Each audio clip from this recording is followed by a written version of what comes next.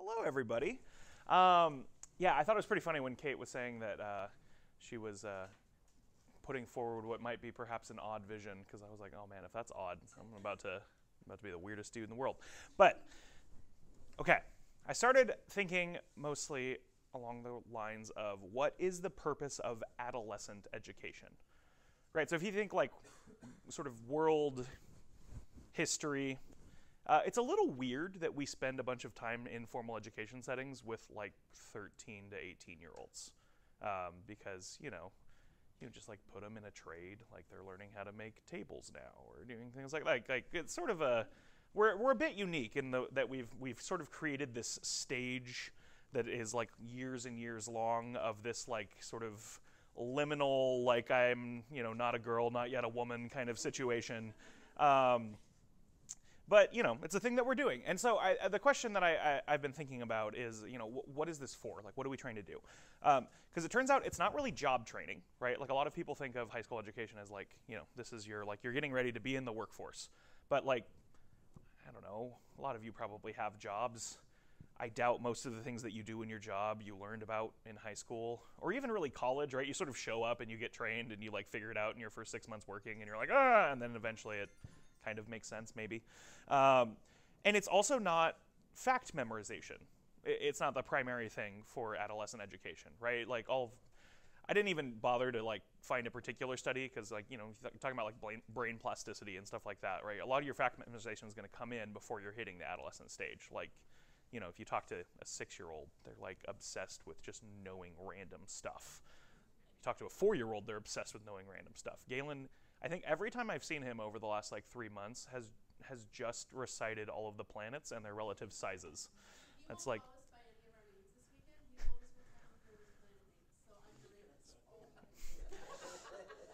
I don't know what you did to draw that straw, but it's unfortunate. Um, so it's probably not fact memorization in the way that we really want to see fact memorization being a major thing in lower school. Um, and the study that I did find that is fascinating to me is it's, it's not even necessarily skill acquisition. Um, there's an article in Developmental Science from a few years ago about um, basically doing sequence learning, uh, which is just a, a, way that people will, uh, uh, behavioral psychologists and stuff like that, will measure uh, how well you will pick up a new skill, like and do things. Um, and it's like basically through the sort of speed at which you can recognize sequences, predict uh, items and sequences that will come later, um, all that kind of stuff. And apparently that peaks at around age 12 and then drops off.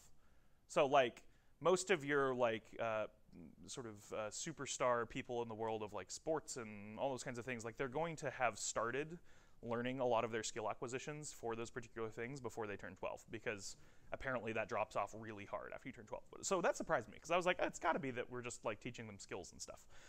So it's not that either. So I, am not sure what's left at that point. So I'm, I'm going to say a crazy thing that I'm actually not totally convinced is true yet. I'm, it's, a, it's a working theory. Um, I think that maybe high school education is not primarily intellectual. Uh, and I say this for a few reasons. As I've been interacting with a lot of my freshmen this year in logic, I found this really interesting thing to be true. None of them actually intellectually struggle with the content. Like, because it, it, helps that it's logic. So it's the sort of thing that if you just walk it out for a person, like and explain it in detail, they'll be like, yeah, that makes sense. It follows because it that's what it does. Logic follows by necessity from premises to conclusions. But the thing that I found that is most lacking in the students that are having a hard time is like sometimes courage, like they're scared of getting answers wrong, so they just don't try. Um, sometimes it's perseverance. They like don't want to focus for as long as they need to to figure something out. Like I had a student literally on Friday. I, I figured out like like she will tune out if I am making eye contact with her and talking like this. Like she will still somehow just like disappear while in the middle of a conversation. Unless I talk at this volume constantly while maintaining eye contact the whole time. then she has no choice but to pay attention to me.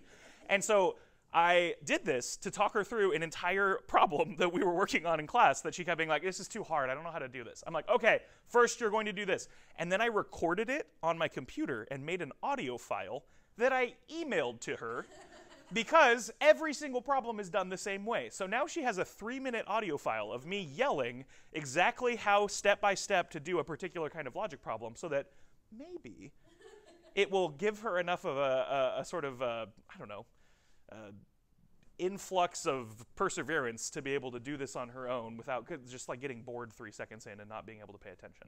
So this has developed into what I now have as a working theory that like the primary thing that they're learning is virtues, not intellectual abilities, like not intellectual skills.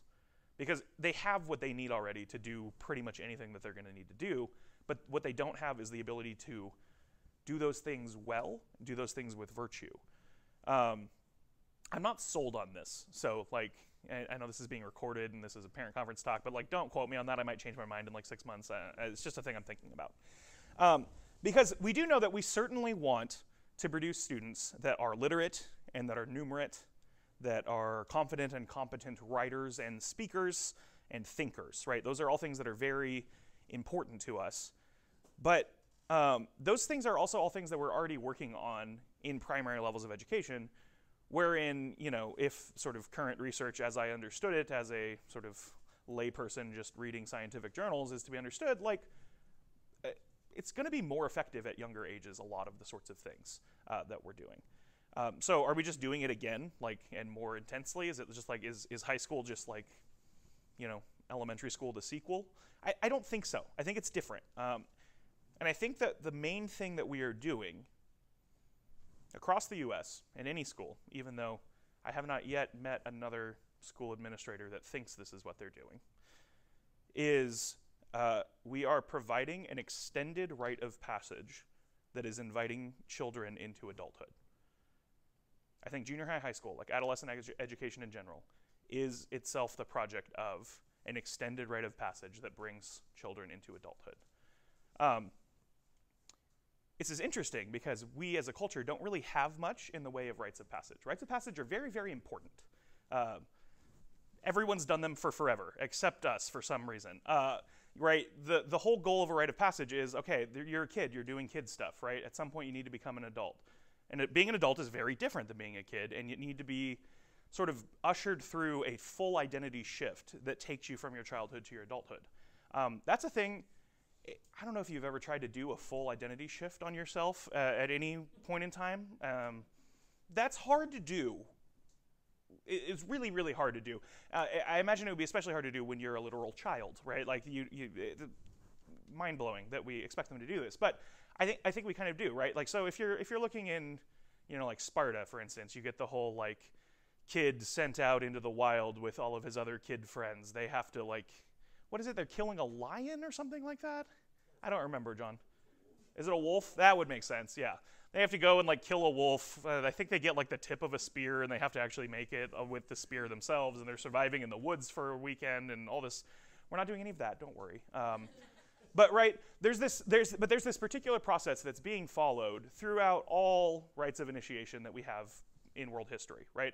So you have a kid taken out of their normal context and they're put into uh, they're taken out of that normal context, and they're, they're take, the, the identity child is taken away from them, right? So even the fact that we use a word like adolescent is putting them in this weird liminal space. Like child is a pretty definite category, adult's a pretty definite category, adolescent, meh, somewhere in the middle. Um, so we're taking them out of the normal context. context. Um, you know, the average high school is probably not a normal context, so you know that could already work.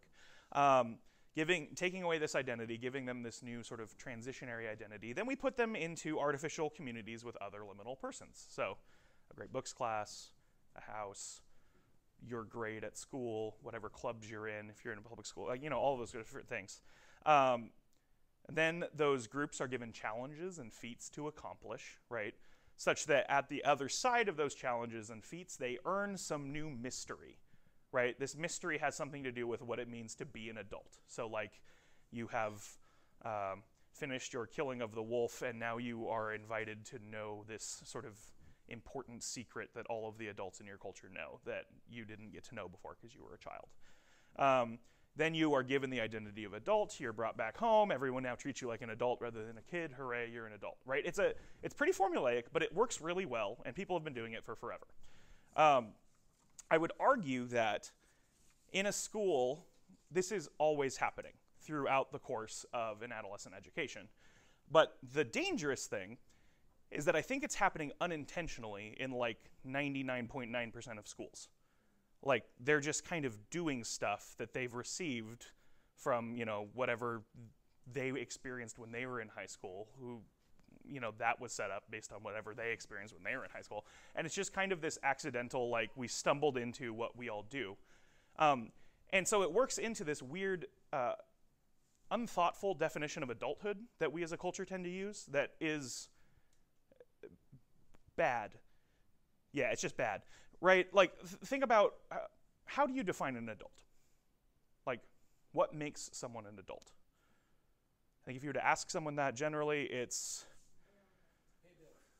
Okay, paying your bills, good. Financial independence, right? Uh, financial independence and responsibility. Okay. Um, let's think.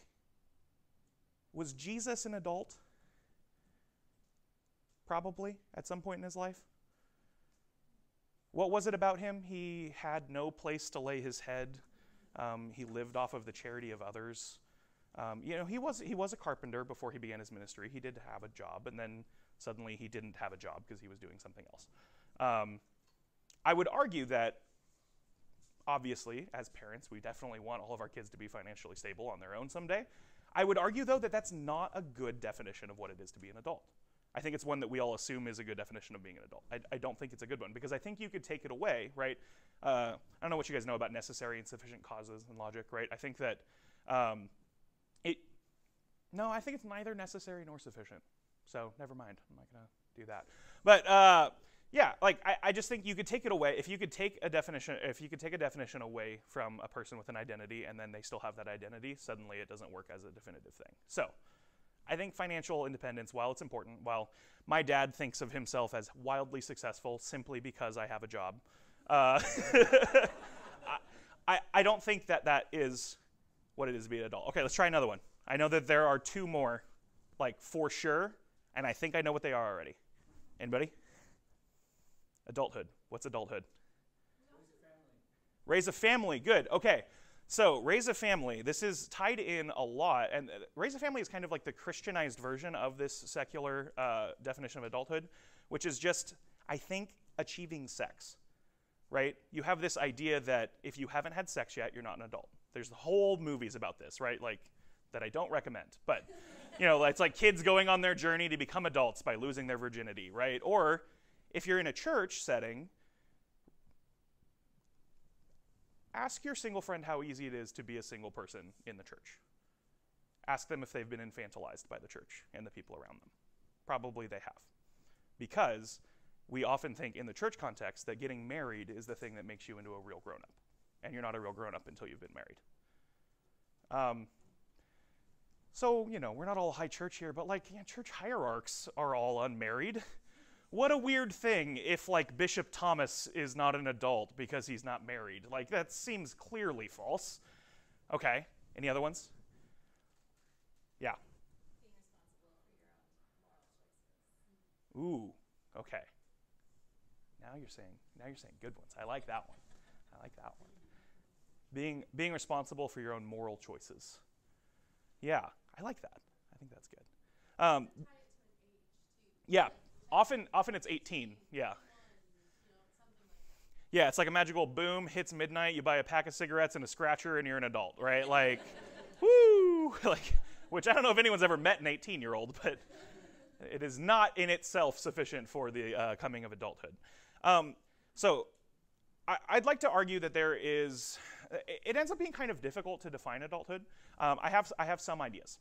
I think that one, one signifier between childhood and adulthood is that adults are meaningly free, where children are not. Right? Like we give adults, we don't give adults, adults have, by nature of who they are, liberty, right? Like they make their own choices. Uh, they, they do what they want to do. Kids, we do not grant that liberty to for many obvious reasons right? Like child wants to, I don't know, like touch a stovetop because they're curious. Or what was, who was it that burned themselves on the, light bulb of a lava lamp recently? Was it, I think it was one of the Bartell kids. Tim was telling me that like they had this rule about like don't touch the lava lamp because they got a lava lamp in their room. They think it's really cool. They really want to touch it. They said don't touch it. Roman apparently screwed the top off of the lava lamp and got to the light bulb on the inside and then touched it and then immediately ran into his parents' room crying. And they're like, "What'd you do?" And he's like, "I touched the lava lamp." He's like, "I told you not to do that." He's like, "I know. I just really wanted to." Um, right? So we try to take away freedom from children in that regard because they aren't yet able to take care of themselves, right? So we take away their freedom so that they can be safe, um, so that they can make better choices than they might otherwise make. Like hopefully, if you have a student that just refuses to turn in homework, then many of their freedoms at home are taken away until they turn in that homework, right? Otherwise, they might never fix themselves because they're not strong enough of character to do so. You, as the adult, have to stand in the gap for them and be the strong character, right? Um, I think this is also true of authority, right? Adults have authority in a place that children don't. Um, I always think of the scene from Hook where it's like the kids are asking what they're in charge of, and it's like you know the the adult is then there's like the little kid, and then there's like the littler one and the littler one, and then the littlest one's like, wait, what what am I responsible for? And Peter Pan's like, uh, the never bugs, little ones. Um, but eventually you get down to a size where you're like you're not an authority on anything because you're a baby, right? Um, we don't give children lots of authority. And as we do give them some authority, that's in many senses giving them a bit more of their pieces of adulthood. Um, I think a third one, uh, the one that's very obvious to see, is uh, identity. Right? Adults have control over their identity in a way that children don't. Um, and so this is why I think you always see like you know as as children in the process of becoming adults, they'll start to like suddenly dress really differently or like dye their hair or like I don't know what other weird things do kids like you know they're they suddenly they're like listening to new, to new music and that music is their entire personality and they've decided that and it's not actually their entire personality but they're like yeah like for me I was an emo kid right so it was like you know like the eyeliner the skinny jeans the whatever I was like yeah that's me now I'm sad sad is my identity. But it's, it's an important and a healthy thing because what you're doing is you're acting out like your desire to take control of your own identity. And that's a thing that kind of, again, progresses through as you go from childhood to adulthood. Um, I think it's also the case that like there's an amount of suffering that an adult has to face um, by nature of being an adult that most adults that love the children in their lives, they will try to shield them from as much of that suffering as possible. Um, they'll be able to tell what is and isn't an appropriate amount of that suffering to handle, and they will shield the child from as much suffering as they can or as much as is appropriate. Um, and again, as you become an adult, you are suddenly now responsible for handling your own suffering. Uh, you don't have anyone to shield you from it, right? I, was recently at a conference where uh, was with a bunch of youth leaders. They were all talking about how how important it was that they were the line that sort of stood between the slings and arrows of the enemy and all the terrible things that might happen and the kids that they love. And it's like, man, that's kind of true. And like, I know for a fact that if all the teachers at the school could, for the rest of our lives, like throw our bodies in the way of all of the pain that our students might undergo, we would do it, like willingly, gladly, anytime. But that's just not reality, right? At some point, your child will leave. Suddenly, they're an adult and they have their own suffering to deal with. Uh, and I think this is also true of doubt, right? Like we we like to provide kids with answers in a way that like you can't really do with an adult. When someone's an adult and they have a question and it's like a really big question and they have doubts, you just adults sit with their doubt in a way that kids don't have to because parents will answer questions for them. So, I think that all of these things are hallmarks of what it means to be an adult and the way you differentiate childhood from adulthood which is why we have retreats that are themed after all of these things that students will do throughout the course of the year, uh, or the course of their four years in high school specifically. Um, so in high school retreat, every year we have a theme. Uh, we have four rotating themes that we're going to move through as years go on, um, such that you know you start in one, and by the time you're a senior, you will have been through all four, and then we can start over, and then no one will, you know, that's how rotations work. Um, so this last year we did a retreat on liberty, um, wherein, again, this is it, the rites of passage thing. When you're thinking about youth ministry, it's like you know within it's like wheels within wheels, right? Like you have rites of passage nestled within rites of passage. So a retreat is a really good general form of a rite of passage, right? You take all the kids away from all their stuff they're familiar with. Lock their phones in bags. They all get mad. Uh, and then suddenly they show up somewhere and you put them into a new group of people, right? So for the, the back to school retreats that we do with the high schoolers, it's always their houses. Um, students don't spend a lot of time in their house groups uh, most of the time. And so this is like a new group for them to do uh, and to be around and to learn to be with. And then we put them into weird challenges that I make up for them, such that, you know, they're just running around answering riddles and doing difficult things that require them all to work together, and they don't work together very well, so they start yelling at each other. It's all very formative and important. Um, right? And then once they've overcome those challenges, we start to unfurl these new wonders, and the wonders are very much themed after like whatever we're looking at on that particular retreat. So this last year was Liberty. So we watched a movie called The Iron Giant. I don't know if you've ever seen that. It's amazing. It's a great uh, movie about liberty, to think about freedom. Um, it's this this robot that is programmed to be this like Russian spy killer robot set during like the Red Scare. Uh, so it's set to be this like you know scary combat robot thing, but it has a will, and it ends up developing a relationship. Like it, it loves this little boy that it's friends with, and so it ends up like insisting that despite his programming, he will not be a gun.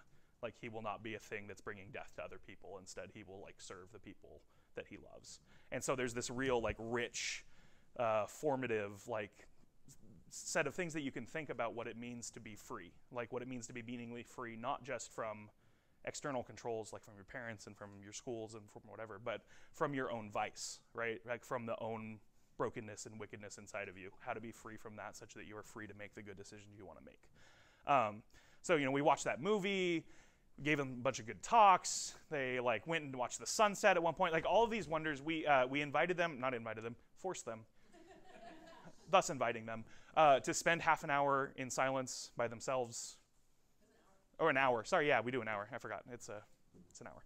So like we basically are like, hey, here's what it is to uh, be in silence and pray.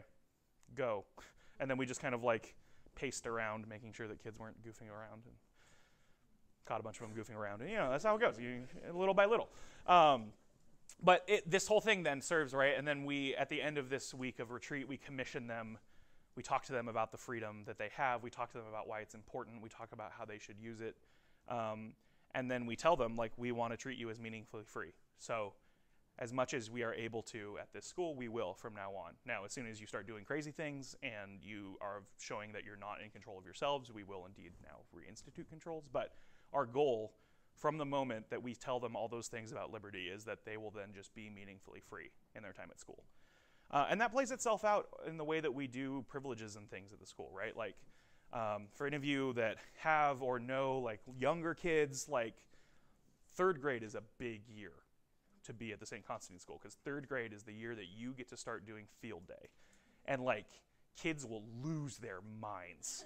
Like I have kids that like literally the first day of school ran up to me and were like, "This is my year. I get to do field day this year." I'm like, "Great, good for you, congratulations!" Um, and so there's this real like you're graduating into a new level of authority. You're gra- graduating into a new le- level of freedom. Um, right? Like as you are getting older, like you start to earn like, oh, you can have a free period now, or oh, this new retreat is one that you get to go on now, or the, now you get to go to these dances, now you get to do these things. There's this continual like sort of upward trajectory of freedom, of authority, of all of these things. Um, and so we're thinking about all of these different categories as we're constructing all of the different things that we're doing throughout the year. It's again like sort of wheels within wheels. Imagine that whole rite of passage structure and then shrunk down into each individual event and moved forward, right? Like this last year, uh, we started doing our man night and woman night for the first time, which again, yeah, it was so fun. But was this same kind of thing again shrunk down again? We you know, with the men, we realized we need to talk to them about what it means to be a man, what it means to um, wield your power and authority well, right? You have a certain amount of strength that just comes on comes with you both culturally and biologically as, as a sort of gift of being a man and there's a huge weighty responsibility that comes with that. And we wanted to talk to them about that and show them that and also throw logs around a field with them doing that. So it was great. Um, you know, wrestle them, all sorts of things. Uh, I played, ta- uh, this is just a side note, but it was really fun. I played tackle football with a bunch of the high schoolers on uh, Thursday and it was a treat. So if you ever, you ever need a real pick me up for yourself, go play tackle football with high schoolers. Uh, turns out that being a grown man makes it uh, a lot easier to do really well at that. um, but yeah, so so right in that we're talking about authority. We talk about authority again in our junior senior retreat. It's all of these continuously upward moving events that are not eh, only very rarely are we giving um, like intellectual speeches about the things that we're trying to teach them. Instead, we're modeling all of these things for them. We're putting adults in their lives that we think like, hey, when you grow up, this would be an okay person for you to try to be like. Um, we, we put all those people in their lives and show them to them, and we walk them through all of these different steps of what it means to be an adult. We unfurl the mysteries and wonders of adulthood slowly but surely before them, such that, right, you get this whole culminating experience, I think, really with the junior senior retreat, where you you're seeing like the seniors, especially the ones that have been here with us for forever, they, they've heard all of these things, they've experienced all of these things, they've seen all of these ways in which they are welcomed into the task of being an adult rather than being a child. And we, at that retreat, it's heartbreaking. Like it is so hard uh, every year.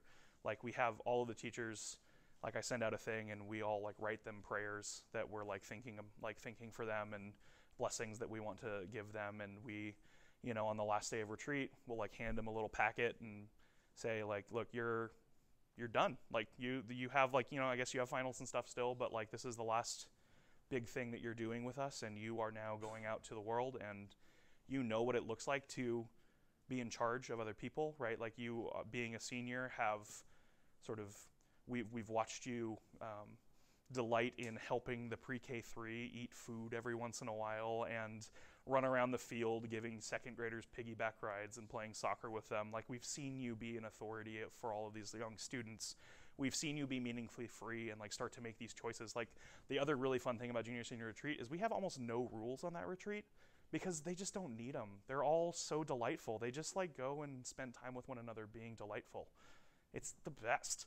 Um, and so they've hit this like peak of liberty, they've hit this peak of authority, they've hit this peak of like, you know, like their identity. They've really started to kind of like hone in more on who they are. It's really funny seeing like junior hires become high schoolers, and especially going into like sophomore. They start trying all like the really weird stuff that they're gonna do. Like they're like, this is me now, and you're like, huh. But normally, by the time they're around senior year, you start to see them kind of level out a little bit more. Some of them are still trying some stuff, but you know, they're starting to level out towards the identity that they want for themselves. Um, they, they know who they are. A lot of them have like suffered. Um, and a lot of that is like controlled suffering that we give them on purpose. Uh, you know, shout out to the eighth grade PE class that was doing wind sprints in the hot sun on Thursday. Uh, I don't know if you heard complaints about that, but uh, it was pretty funny. Um, not funny. It was good for them. Uh, it was also fun to watch. Um, right, and, or or the suffering of like and the endurance that comes with just you have to read a really long book and you have to be able to focus through reading a really long book or writing a hard paper and doing calculus or failing like oh man like i one of one of i had a student a few years ago that just like totally panicked during her logic final and like shut down and couldn't do anything and just like ran out of the room and like it was this real moment of like i went and found her and was like hey like i i will give you another chance to do this because i know you know these things like let's go do them. Like, here, this is the time limit. We're gonna go do it. And I think for her, like that moment of getting to like be totally like totally swept up and undone by a challenge that was too big for her, and then given another chance to do it and know that she can do it and like ace the she ace the final. Was fine. Like she knew what she was doing. Like was such an important moment of suffering and perseverance. And so we we build in all of these things such that we hope that by the time students are seniors, they know that they've done all of these things already and that they are being commissioned to go do them even better. And they will go and be the sorts of adults that we know that they can be and that we want to see them be. Um, because it'll get to the point where we just can't protect them anymore. And we have to make sure that they are ready to go and be virtuous and good adults. So that's the kind of overall vision of in case you ever wondered like you know why is mr Yee wearing like short shorts when he's in the pickup line today it's you know it's because it's during spirit week there's like a whole thing it like it, it's all i promise i'm thinking about lots of things as we set this up and that's the end goal right the end goal is that somehow all of these movements that we do through joy and feasting and difficulty in classes and weird challenges that frustrate them on retreats and all of these things is is all set in this movement towards making a virtuous adult who is ready to be a virtuous adult when they graduate from our school. Um, That's the game plan. That's what we're working on. That's what we're doing.